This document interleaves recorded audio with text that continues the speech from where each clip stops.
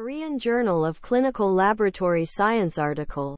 Title is Technical Considerations of Effective Direct Cortical and Subcortical Stimulation.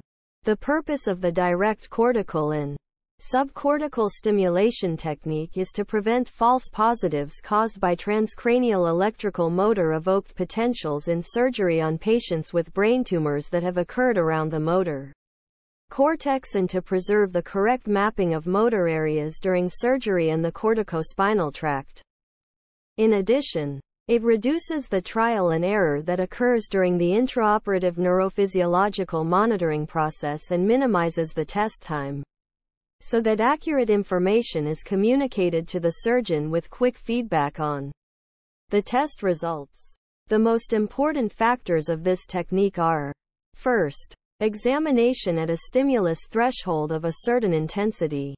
And second, maintaining anesthesia depth at an appropriate level to prevent false positives from occurring during surgery. The third is the installation of a multi-level channel recording electrode on the opposite side of the area of operation to measure the TCEMEP waveform and the response to direct cortical and subcortical stimulation in as many muscles as possible. If these conditions are maintained, it is possible to predict causes that may occur in other factors, not false positives, from the INM test. Thank you for watching Korean Journal of Clinical Laboratory Science article.